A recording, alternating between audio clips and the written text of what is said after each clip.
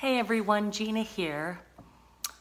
In this moment of pause, when the world is pausing, what can happen?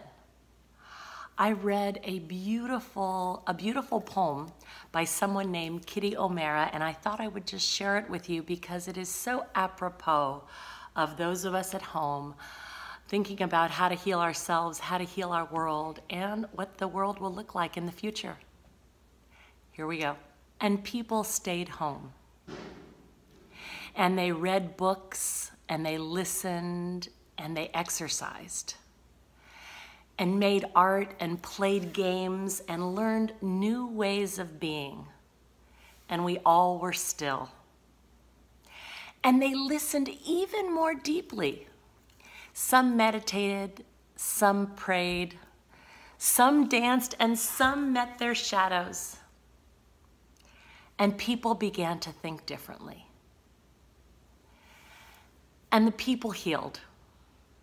And in the absence of people living ignorant, dangerous, judgmental, mindless, and heartless ways, the earth began to heal. And when the danger passed and, and the people joined together again and they grieved their losses and made new choices and made it a new, made a new way of being, a way to live and be on this earth and with this earth fully. And they began to heal and the earth began to heal. Ah, oh, I just read that and I took a moment of pause and said, wow, the universe will bring us a moment of pause, even if we can't do it ourselves in the midst of our doing more, being more, and having more.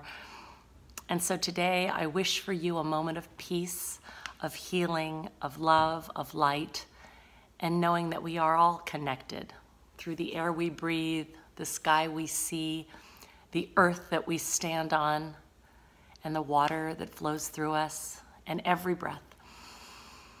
Ah. Be well, be joyful, be inspired. Have a beautiful day. Mwah.